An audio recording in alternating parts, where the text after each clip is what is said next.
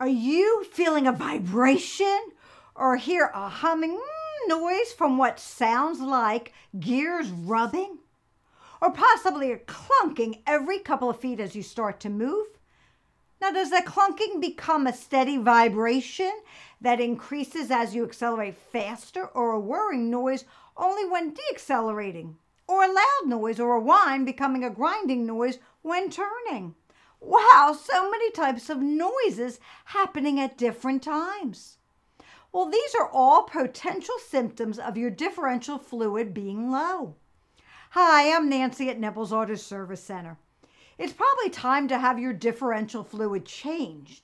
But let me explain it a bit more if you are already lost.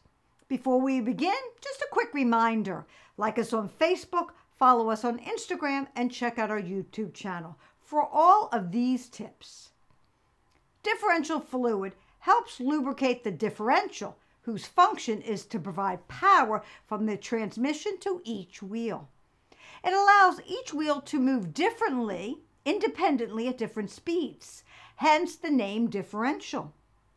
Differential fluid also keeps the differential from overheating. This gives the driver better control of the vehicle.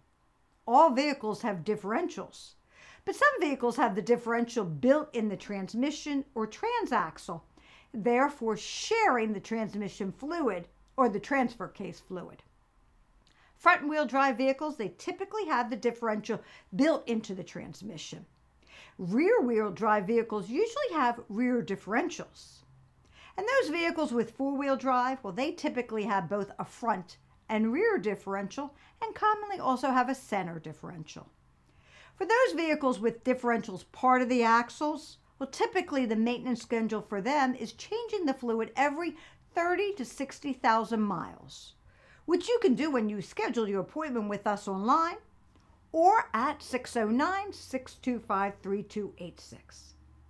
But always check out your owner's manual and follow the recommended schedule to keep your vehicle in top operating condition because the fluid breaks down over time from heat, friction, and metal to metal contact of the gears.